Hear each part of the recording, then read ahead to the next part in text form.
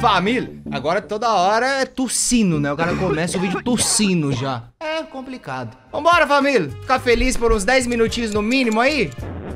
Eu, eu, li nos comentários que tem gente que tá com saudade já desse meu bordão de 2019. Ah, vem aqui, vou te tirar dessa tristeza profunda por 10 a 12 minutos. Então, é isso. Então vem cá comigo aqui, minha família brasileira. Sem muito papinho hoje, porque sabe o que eu quero, mano? Eu quero mudar a vida de vocês. E vocês sabem que quando eu quero mudar a vida de vocês, eu, eu venho aqui, ó. Eu paro aqui nesse homem aqui, ó, no Darman. Que mais uma vez, ele não tá aqui apenas contando histórias. Ele tá mudando vidas. Então para de achar que sua vida vai continuar igual, porque não vai. Tá dando toque isso aqui. Minha GoPro. Então bora, Darman. O que, você tem de bom aqui, mano, nos mais populares? Deixa eu ver. Menina pobre é humilhada por causa do almoço. Na onde? Na escola. Sempre. É, na escola. Oh, meu Deus do céu. Mas se bem que a gente já viu um igual, né? Do menino pobre que foi humilhado na escola. Será que a gente viu da menina agora? Acho que pode ser, porque tem dois meses. É mais novo esse daqui, mano. Pode ser que tenham coisas mais recentes aí sobre a humanidade.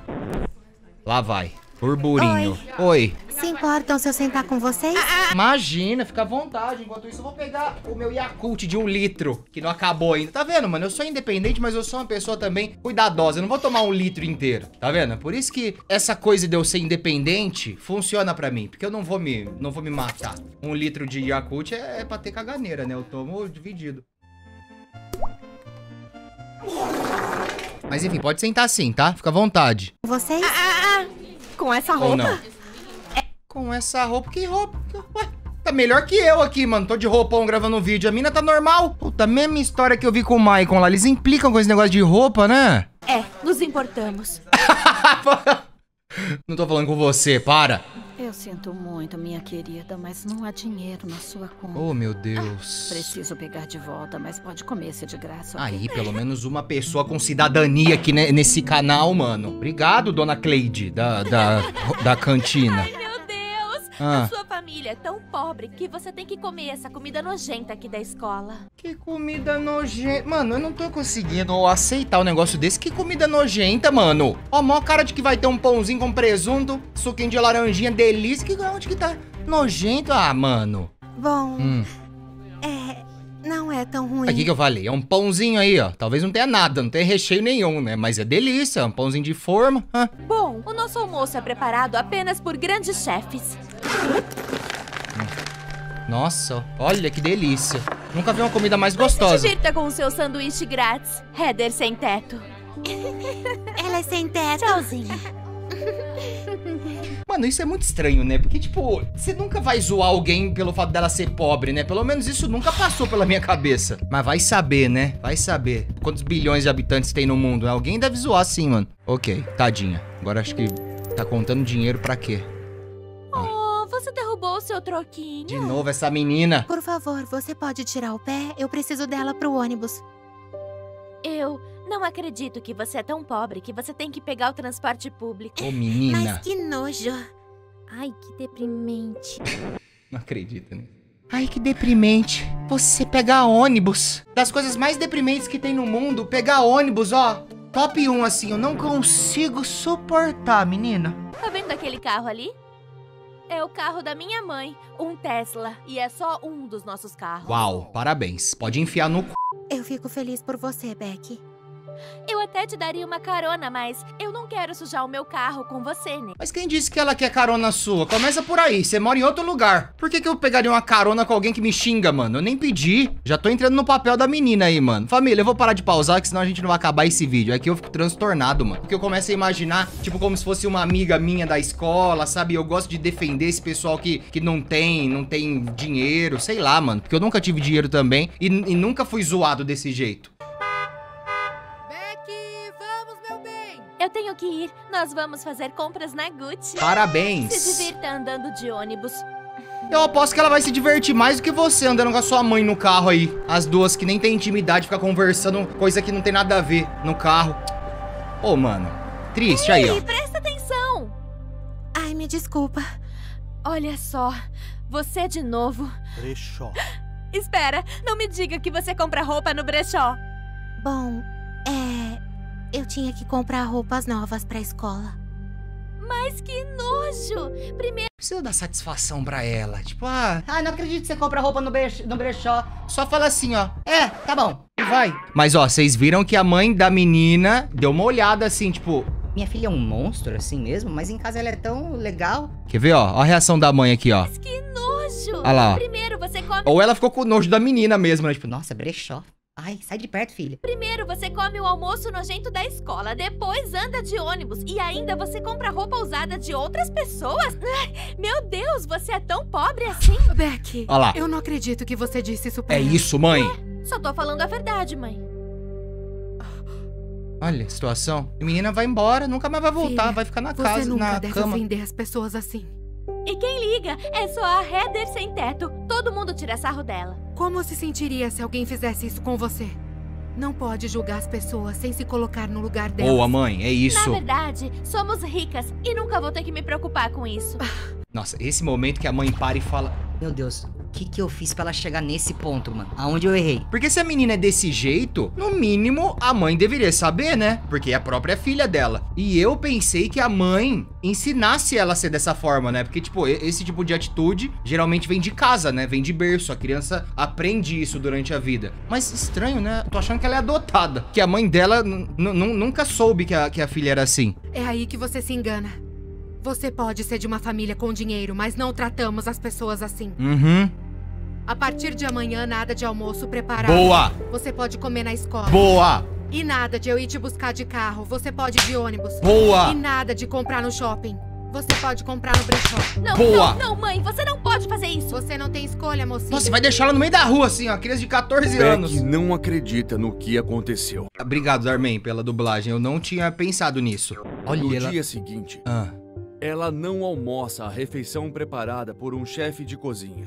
Quando ela tenta se sentar na mesa com suas amigas, elas debocham da Beck e não deixam que ela se sente junto delas.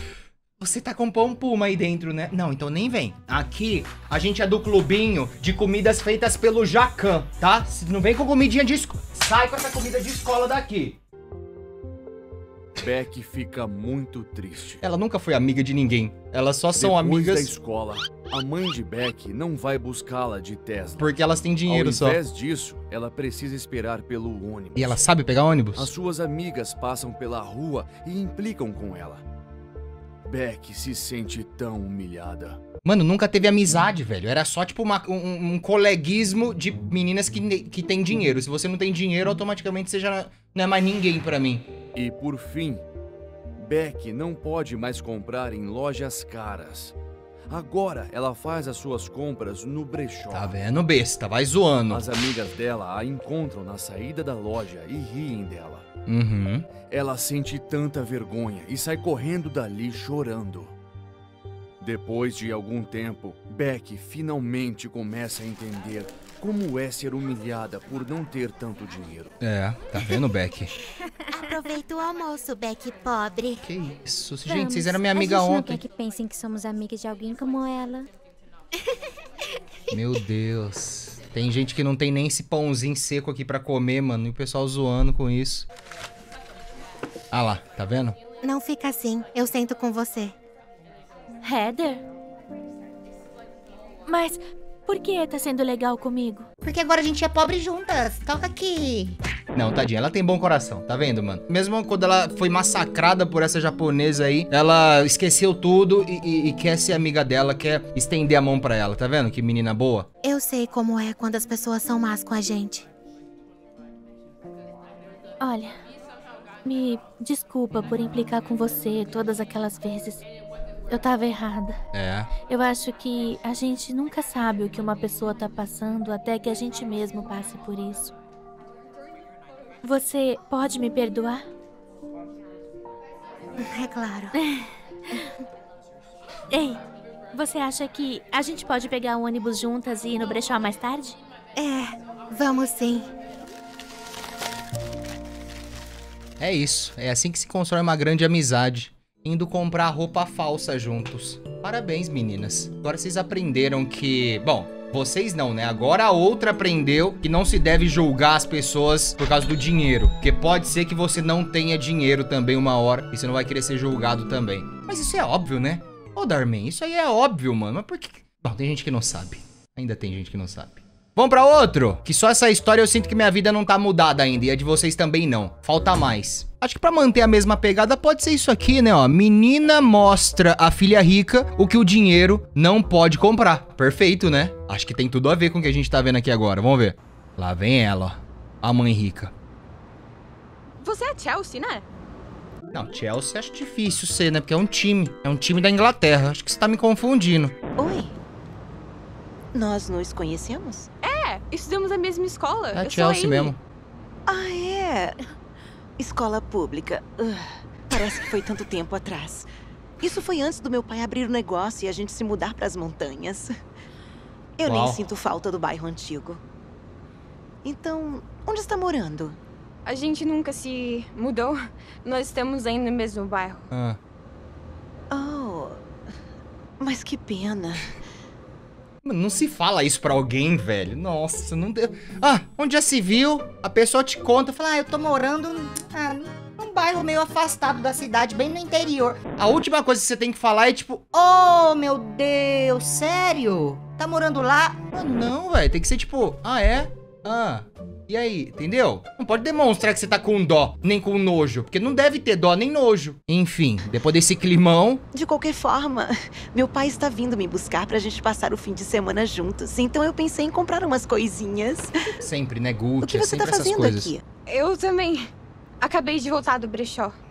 É a mesma história da outra, praticamente. Você tem que usar roupas de outras pessoas. Fale para o seu pai que você não pode sair vestida assim nem morta. Fala isso pros mendigos. Fala isso pra eles. É o que eu falo para o meu. E aí ele me dá o cartão de crédito dele. É, porque ele é trouxa, né? Porque se fosse um pai de, de verdade, ele ia te recriminar e falar: então você vai ficar sem esse cartão. Vai usar roupa independente de onde seja. Uma coisa que não me entra na cabeça é, é- é essa supervalorização que a galera dá pra essas coisas aqui, mano, ó. Gucci. O que, que tem de mais nisso aqui, mano? O porquê que isso é, é tão su- super. Qual é a palavra? É superestimado, né? Tanto faz esse negócio. Eu vou pagar 20 mil reais numa roupa só porque tá escrito Gucci. Sério, nunca entendi, mano. Tem vários amigos que adoram comprar, não tem nada contra, tá? Mas eu só não entendo é, esse, essa frescurinha. Ai, tem que ser Gucci. Ai, tem que ser Louis Vuitton. Não tem nada demais, mano. Um dia eu ainda vou comprar só pra ter certeza que não tem nada demais. Seu pai também tem o próprio negócio, não é? Ah, não, meu pai. Oi, filha. Ah, ele aí, ó. Desculpe, me atrasei. Mas eu tirei o dia pra gente passar o fim de semana juntos. Obrigada, pai. Ah, eu só vou dar tchau pra minha amiga primeiro, Vai lá. mas eu te encontro no carro. Sem problema, filha. Leve o tempo que quiser. Obrigada, pai. Nossa, o pai super educado, né? Chega no meio da conversa, nem olha pra amiga da filha, fala só com a filha e vai embora. Ê, velho da Van Gordo, hein? Olha, agora eu sei por que você tem que comprar no brechó. Por quê? Quer saber? Meu pai pode não ter dinheiro pra comprar uma casa cara nas Lacra, montanhas. pai. Mas nós temos um lar feliz. É isso que importa. E isso é bom o suficiente para mim. É. Meu pai pode não ter dinheiro para me comprar roupas de marca, mas ele me mima com o que pode. Perfeito. E o amor dele é muito melhor que qualquer bolsa chique. Boa, é Meu isso. pai pode não ter o seu próprio negócio, mas é porque ele se preocupa mais em passar tempo comigo. Diferente dos outros pais, né? Do pai dela, por exemplo, que só trabalha, tem muito dinheiro, mas conversa 10 minutos por dia com a filha só, de tanto trabalho que ele tem. Então o que, que é melhor? Você ser feliz ou você ser rico? Feliz, mano, óbvio. E pra mim, isso tem mais valor do que qualquer cartão de crédito pode comprar. Boa. Meu pai talvez não possa comprar uma casa cara ou roupas de marca. Ou até não ter seu próprio negócio. Mas ele é a pessoa mais carinhosa e amorosa que eu conheço. Isso o dinheiro não compra. Ah, isso é tão triste. Senhorita Chelsea, eu levo as sacolas. Ah lá. Benjamin? Não é nem o pai. Meu pai estava vindo. Cadê ele? Ele teve que ir a Londres a negócios. Oh. Ele não poderá passar um tempo com você. Oh, meu Por Deus. isso ele me mandou. Oh, pai ausente, você tem um pai ausente. Que triste. Acho que isso que é, isso que é triste, né, Chelsea? E não ser pobre. Eu acho que isso que é triste, você não ter uma família. Oh, meu Deus. Eu não entendo. Ele sempre faz isso comigo. Pois é, né? Eu não vejo ele faz semanas. É uma pena. Mas ele manda lembranças. Estarei aguardando no carro.